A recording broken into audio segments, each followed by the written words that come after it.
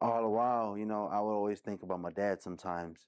You know, man, why did he do that? And sometimes I it'll mess my head up where I got to the point where I wanted to kill myself. Well, uh, first of all, you know, uh, my father, he actually wasn't there at the time when I was growing up because my father actually hung himself. You know, he took his life away. And uh, the story is, when I was young, you know, me, my mom, my dad, my brother, and my sisters, we, we were staying in an apartment at the time. And uh, my, mo- my mother woke me up and told me, you know, to go get some milk for my sister because she was crying.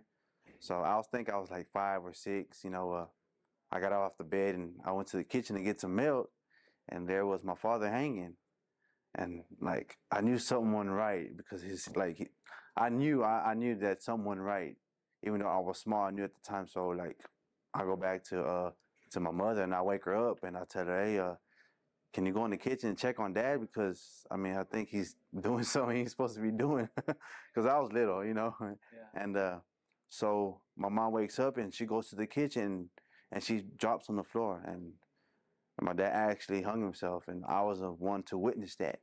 So I can't really explain, um, you know, about my dad if he was there, you know, because like I said, he took his life when I was young. So my mom, after that happened, my mom went crazy. She started using drugs. You know, that's all she lived for was my father because she loved him so much, and she started using drugs. Uh, Did you ever hear any hear? Excuse me. Did you ever hear stories after that as to why? well, what speculation was on why he why he hung himself? Well, uh, my aunts and, and you know my, my dad's sister, my aunt Marie, she used to tell me, you know, he was, you know, he would always stress a lot. He was depressed about his brother that he, my uncle, his brother, he died, and my uh, my dad took that real deep, real hard, and he couldn't cope with the pain. So, I guess he felt that the only way to, you know, take away the pain was to just kill himself and do that. But you know, I hope that before he did that, he seen the light. It's actually like last night I was in my bunk and uh, I was just it's crazy because how we're talking about him today. Last night I was thinking about him, and I've never actually just thought you know sat down and thought about my dad why he do that. You know, and uh, I just hope that before. Sometimes I tell myself, why did he do that? Why did he kill himself and left me and my mom like this? So as I got older, uh, my mom was in and out of prison, so uh, she didn't want CPS to take us, so she left us with my grandma, and my grandma raised us, and you know she fed us, kept clean clothes on us, nice shoes. You know she did her best, but you know like as my father being around, I can't say much about him. Okay, so tell me how growing up without a father, how'd that shape your life? Oh, actually, uh, growing up without my father, like I said, my grandma raised us, and when that happened to my father, him killing himself, my mom went crazy, in and out of prison. So my grandma took care of us because she didn't want CPS to take us. So I started growing up, you know, as I'm getting older, going to school. My grandma taking us to school every day. Uh, like one of the guys mentioned, uh, we see we used to see people with nice shoes and clothes and stuff like that, and we were clean at the time. My grandma's kept us clean, and but we didn't just have like the Jordans and stuff like that. We had like cheap shoes, Pro Wings and stuff like that. So as I got older, I live uh, in the neighborhood where I'm from, Second Ward. Uh, we would go to this park called Ripley House, and when me and my brothers would go to this park, we'll walk to the park. We're like 13, 14. We would see these dudes hanging around smoking weed. So when we would go that way, they would stop us. Hey, come over here. So we would stop and we started smoking weed. And they used to tell me, look, before you go home, we're going to give you some Listerine to wash your mouth out and some clear eyes. So every day, you know, these dudes lived on the next block. They were older cats, you know. I was like 14. They were like 20, 21, you know. I looked up to these dudes because my father wasn't around. So we would go there every day and get high. And they would give me Listerine. And I would come back, me and my, my cousins and my brother would come back to the house and we'll go straight to the kitchen and eat up, eat up everything. And my uncle one day he was like, "Man, y'all eating too fast. Y'all y'all high. Y'all got the munchies and stuff like that." So as I grew up, you know, uh, we would hang. I would hang around with these dudes, come to find out, these dudes were in gangs, and you know they wanted me to join gangs at a young age, had me do you know stupid stuff, and like they'll use me as a crash dummy.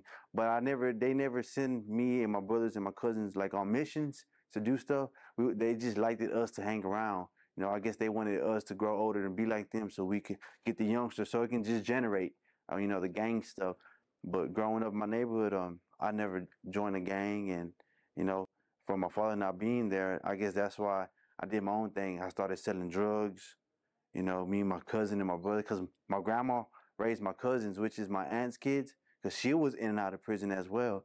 So we used to see people with, with nice cars and rims and, and money, jewelry, and that was that's what we used to watch gangster movies, and we used to see stuff like that, like the Goodfellas, and we were like, man, I want to be like that, or I want these women Cadillacs and stuff like that. So growing older, we would, you know, we buy weed, bag it up and sell it, you know, and then profit, we would smoke, get high. And growing older, my my whole thing was I thought this life was about getting money. So, man, we we would save money and the whole as I got older, I started selling just more than weed. It started to lead to pills, crack, coke, and I started getting into women, girls. I had a bunch of girlfriends, you know, and I would just be cheating. I had I had one girl, and then by the time I know, I used to go to school, and I have by the time I come home, I got like five or six numbers, and I would talk to all of them. And one day, I was 15 minutes here, 15 minutes there, and I grew up like I thought like a little player selling drugs. Thought it was cool, you know, but my dad wasn't there to to tell me that wasn't the right thing. And you know, I, my grandma, she uh she actually uh wasn't mad at the situation about me selling drugs. You know, she she she I don't say she was like she didn't care, but she cared. She just said, if y'all, whatever y'all do, hope y'all don't get caught, you know, and come home before it gets dark. So we would hit the streets, sell drugs, do what we got to do, mess with women, and come home before. Or I used to call and let her know, well, I'll spend the night at a friend's house. You know, I'm not gonna be there tomorrow. Or, you know, stuff like that. As I got older, and like I said, my whole thing grow up in life was getting money or having money, having nice things because my other my friends, the people I grew up with, had nice things, and I was like, man, everybody's got this, and that's that's what's going on. That's the style these days. You know, is to wear Jordans and nice fitted hats and stuff like that. So I was like, man, I ain't gonna be like this no more. One way or another, I'm gonna get money and I'm gonna show them that hey, I can get this too. You know, without y'all. And as I got older, my friends and you know started betraying me. You know, and I started being by myself a lot. I, everything I did was I did by myself. Whether going out to eat, I treated myself. I sit at the restaurant, eat by myself, have margaritas, and you know, and but I always always have money, and I would always thought I was some kind of mobster or something. Watching these movies, it was, it was, it was in my head, and uh, as I got older, I started coming to places like this. I came my first time actually 17. You know, I caught a theft case, and uh, I took this dude's chain, and I ran and I came when I was 17, got out 18, and uh, the second time was which was last uh, last year I got out 10. But I say this to as I was growing up, uh, I met you know my wife that I'm with now, and you know that was the most beautiful thing that happened to me. meeting her because she's been down me ever since I've been getting locked up. You know she could have easily just left, but she's still holding on because I know she has faith in me, and now I have a beautiful son, a beautiful daughter, and God, I have accepted Christ into my life. I realize as me going through my bad lifestyle that if I don't change now, it's gonna get worse. You know, because like I said, my mom was in and out of prison. My dad killed himself, and we was living at my grandma's house. My brothers and sisters would look up to me, you know, and I, I started seeing them. My little sister started trying to steal my weed and try to sell my weed to get money and and my brothers and all that. And I actually grew up like in a drug kind of family because my uncles and them they're also drugs. They are they always had nice cars, pinky rings, stuff like that. And I grew up seeing that. My uncles would come and you know, and I would be like, man, I want to be like my uncle. I want to have nice things. And but all the while, you know, I would always think about my dad sometimes. You know, now why did he do that? And sometimes I it'll mess my head up where I got to the point where I wanted to kill myself. But I said, nah, you know what? God didn't create me to do stuff like this. You know, there's there's there's got to be something better. You know, if if that was the case, then why are we living? Let's you know, God killed himself, hung on the cross for me. I, I feel like I have to repay him back. And, you know, my wife is, she kind of don't believe me that I'm changing, but I told her, man, you need to quit letting the devil put stuff in your head. You know, God, I mean, can turn evil to good. And I plan on taking my tattoos off my face. You know, uh, I have joined a faith-based program, and you know, I'm I'm walking with God. I try to be obedient in every way because I don't want to have my blessings cut off. You know, I pray for my wife to maybe because my wife believes in Jesus Christ, but she's not actually like deep in the Word like I am. So when I write her letters, I, I write scriptures to her. And when she comes to visit me up here, she's you know, she's like, man, you know what? I really, uh, you know, I like what you sent me. And my son, like I said, this is like my second time I put my wife through this.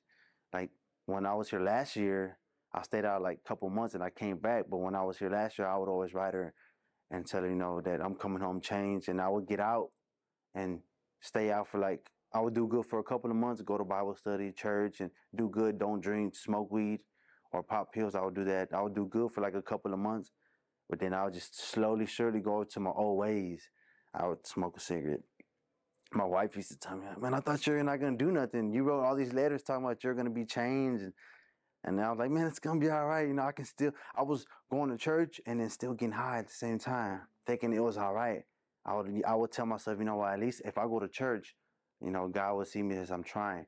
But I used to go to church with weed in my pocket sometimes. I'm not even gonna lie. I used to go to church, God forgive me, go to church and come home and get high. My wife was like, you can't be doing that. Now that I think about it, I mean, I, that wasn't the right thing, but I wasn't fully mature and, uh, as living in the spiritual life. Now I'm getting older. Uh, I realize, you know, I have to change my life. I have to, and the tattoos on my face represents the symbolizes the the way of living, my old way of living, the thug life, getting tattoos and stuff like that. But now I have accepted Christ into my life, and I'm taking that off because my son. I don't want my son growing up thinking he can do that. Like I tell him at visit when they come see me, you know, I'm, I don't want you to be like me. I actually want you to be better than me. And these tattoos are coming off, and he's like, "You better take them tattoos off." And you know, uh, just you know, Let me ask you a question. With me personally, I remember because my dad wasn't around, I didn't have that man walking alongside me to say, "No, boy, you don't need to be doing that." Okay, I'm gonna show you how to do this. You're doing a good job. I'm proud of you. I love you. All the stuff that we need as a as a young man. Because I didn't have that, I bought into everything this world tells you you need to be as a man. Success, money, power, the great position, the fancy car, the nice house, all that. It is. Tell me a little bit about that. Is that the same thing you bought into, how work? Well, I was just like you mentioned, uh, man. I, I, I had the same mentality, you know, power and women. I thought that was all being part of a man. But now that God has opened my eyes, you know, that was just being foolish. You know, now it's not about the women, the fancy car. It's about loving one another, and you know, uh, taking care of my wife and my two kids because you know my my wife, you know, she needs me out there, and it's hard right now. Me being away, you know, she's got to change the pampers, and the kids running around the grocery store, and she's got one, she's got to go look for the other one, the other aisle, stuff like that. But you know, I guess that's why I grew up like this. I think if my dad was around, I don't think I'd be here today. Actually, to tell you the truth. How do you think your life would be different now, man? Uh, I'll probably be because my dad, uh, before he passed away, my mom used to tell me he was real great at basketball.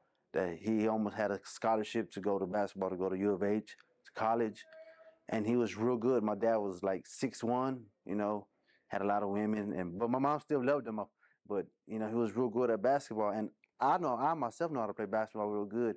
But I think if he was here today, I wouldn't be living the lifestyle that I live. You know, he would probably push me to more to stay in school and and and to play basketball and go to college and play. You know, to make it to the NBA because I do know how to play real well. What do you wish your dad would have done differently? I know it's a little different because Right. what happened. Well, I wish he would have never did what he did. And like I said, uh, you know, it, I don't think about it, but when I do think about my dad killing himself, and like I said, I, I I walked in on him and he was just hanging, and I was like, what the hell, you know, uh, something right. But you know, I try not to think about it because when I think about it, I go to like a deep trance. I'm like, you know, I start daydreaming, so I just gotta wake up sometime. But you know, when I think about it, you know, I'm like, you know what? I have a son now. I'm not gonna be like that.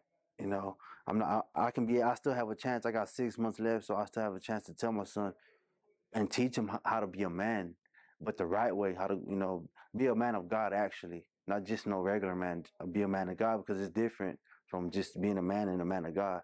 I want him to live in the spirit. You know. That's good. Um, there's one thing you could say to your dad right now. If he was alive, what would you say? I would tell him. Uh, first I would tell him I love him, and I would. Really, I, I know I would be happy because you know he'll probably be playing basketball, or I would probably be playing basketball. But I would just tell him thank you for being a good father. You know, even though he wasn't around, but I would tell him that. That he's right. Right. But how do you think the fact that you grew up without a father, how did that shape and mold you as a husband? Oh, man, my Because you didn't see that. Right, but I didn't see that. But God has has been teaching me. You know what? Uh, you don't want to be like that. You know, you, you want to be better.